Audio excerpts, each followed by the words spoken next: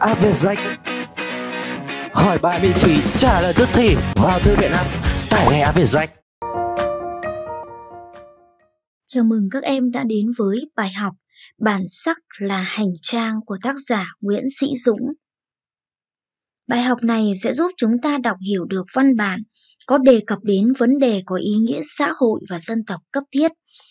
Biết được cần tiếp thu tinh hoa văn hóa nhân loại, giữ gìn bản sắc văn hóa dân tộc không chỉ là phương châm hành động, mà còn là bản năng tồn tại của chúng ta. Hiểu rõ và biết tận dụng bản sắc như một lợi thế cạnh tranh trên trường quốc tế. Chúng ta cùng vào phần 1 La Mã, đọc và tìm hiểu chung về tác giả Nguyễn Sĩ Dũng. Tác giả sinh năm 1955, quê quán tại Nghệ An, với phong cách nổi bật về nghệ thuật là sự trau chuốt và logic. Các tác phẩm chính như những nghịch lý của thời gian, thế sự, một góc nhìn, vân vân. Văn bản bản sắc là hành trang xuất xứ trích trong những nghịch lý của thời gian năm 2011 với phương thức biểu đạt là phương thức nghị luận. Khi tìm hiểu chúng ta sẽ tìm hiểu với bố cục làm 3 phần. Phần 1 làm thế nào để hội nhập mà không bị tan biến vào thế giới, tức là hòa nhập mà không hòa tan. Phần 2, bản sắc không chỉ tạo nên nét riêng của dân tộc Việt mà còn là một giá trị để hội nhập và phát triển. Phần 3, giữ gìn bản sắc của dân tộc không chỉ là phương châm hành động mà còn phải là bản năng tồn tại của chúng ta.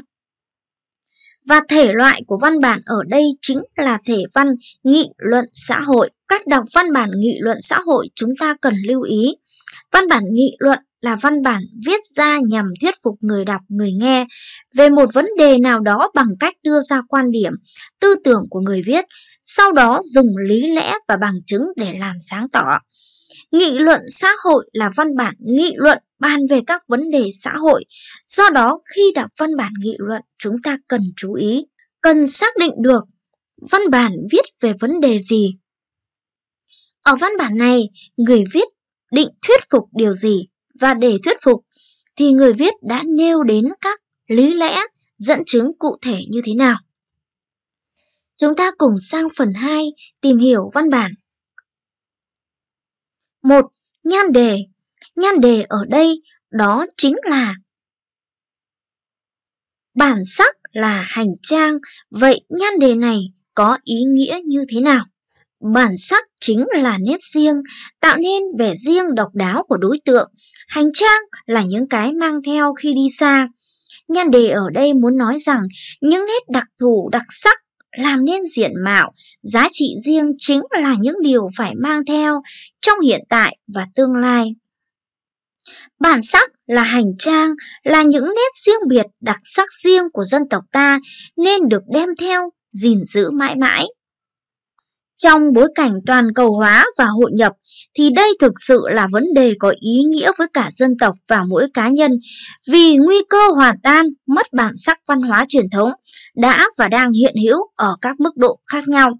Do đó, văn bản này đề cập đến một vấn đề, đó chính là giữ gìn và phát huy bản sắc văn hóa của dân tộc. Tác giả đã đưa ra hệ thống các lý lẽ dẫn chứng và lập luận như thế nào Đầu tiên đó là làm thế nào để hội nhập mà không bị tan biến vào thế giới, tức là hòa nhập mà không hòa tan. Ở đây lý lẽ được đưa ra đó là tác giả đưa ra một khái niệm rất mới mẻ về hội nhập. Hội nhập là việc sông kết vào với biển, chứ không phải là việc sông tan biến vào trong biển. Bằng chứng ở đây là gì? Tác giả đã đưa ra các con số lớn như 80 triệu, 6.000 triệu người để thể hiện sự tranh lệch lớn trong tỷ lệ giữa người với người. Làm nổi bật vấn đề ở đây là làm thế nào để không bị hòa lẫn về bản sắc của đất nước ta với thế giới. Như vậy có thể thấy rằng trong phần này tác giả đã nhấn mạnh việc hòa nhập chứ không hòa tan. Sang đến nội dung tiếp theo, bản sắc không chỉ tạo nên nét riêng của dân tộc Việt mà còn là một giá trị để hội nhập và phát triển.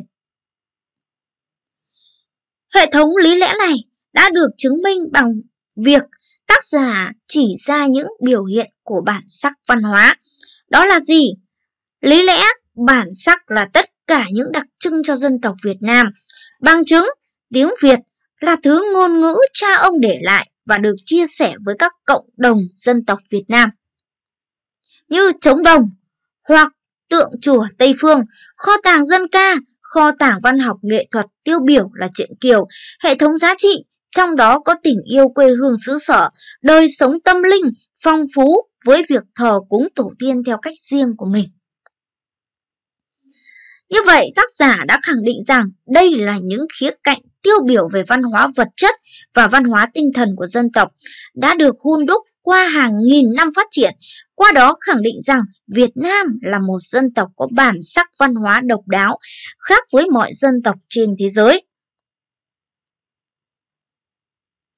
Ngoài những biểu hiện trên, thì bản sắc văn hóa Việt Nam còn được thể hiện ở tục ăn trầu, cưới hỏi, Tết đoàn viên, các lễ hội dân gian như hội gióng, hội lim, hội gò đống đa, hội chùa hương hay các làn điệu dân ca như hát xoan, hát sẩm, hát quan họ, hát chống quân, rồi các di tích lịch sử như chùa Một Cột, Cố Đô Huế.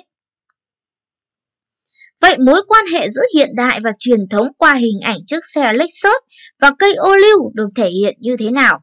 Bằng chứng ở đây là chiếc xe Lexus đại diện cho sự hiện đại và toàn cầu, cây ô liu đại diện cho bản sắc và truyền thống.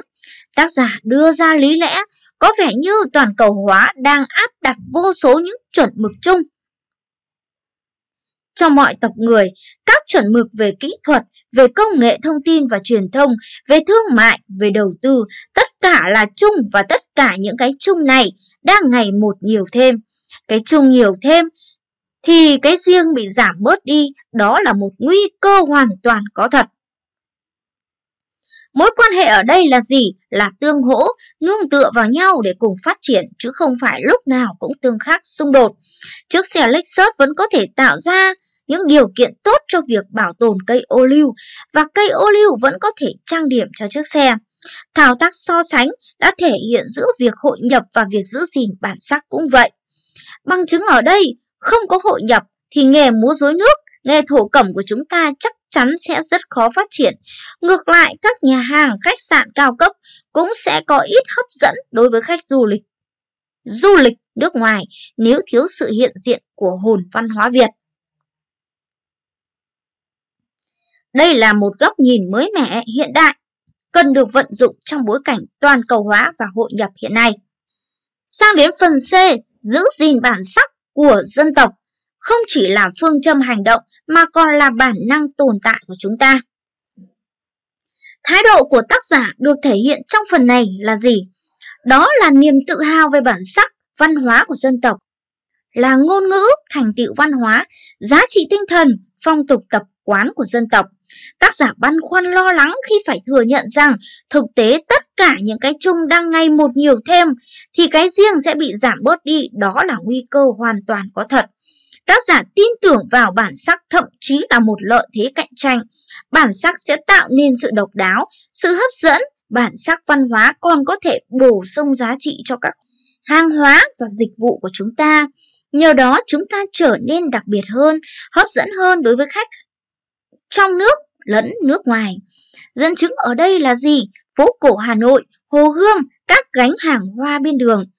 Tác giả đưa ra thái độ kiên quyết và dứt khoát, bản sắc của cộng đồng chúng ta nên tự tồn tại trong cộng đồng chúng ta. Nếu bản sắc của chúng ta bất diệt thì chúng ta cũng ngàn đời bất diệt.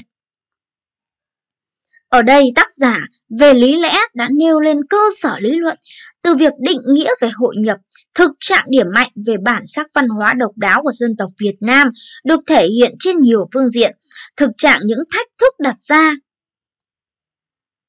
trong bối cảnh hiện tại và luôn khẳng định niềm tin tưởng vào tương lai về sức mạnh của giá trị văn hóa. Bài viết kết thúc bằng lời kêu gọi, thông điệp, ý nghĩa về trách nhiệm và bổn phận của mọi người trong việc giữ gìn và phát huy giá trị văn hóa truyền thống.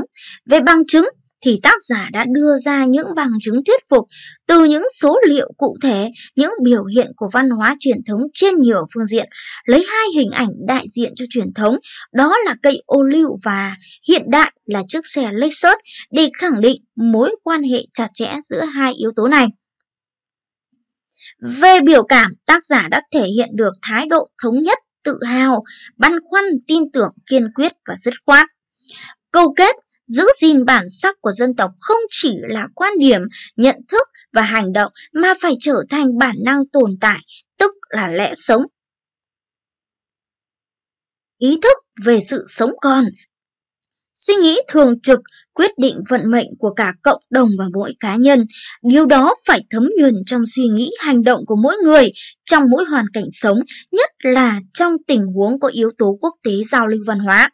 Tác giả cũng khẳng định ý nghĩa rằng bản sắc văn hóa có vai trò vô cùng quan trọng, cần có thái độ hành động giữ gìn và phát huy trong thời đại hội nhập hiện nay.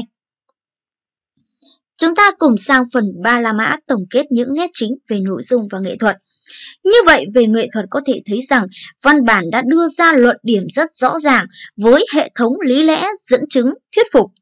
Ngôn ngữ lập luận sắc bén. Về nội dung, văn bản đã nêu bật được giá trị của bản sắc văn hóa Việt Nam để nhấn mạnh vào ý thức của mỗi người trong việc gìn giữ bản sắc văn hóa dân tộc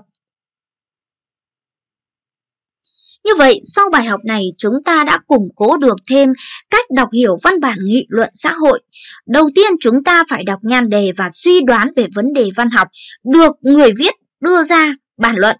Thứ hai, chúng ta cần đọc kỹ văn bản, nhận diện được hệ thống luận điểm của bài viết.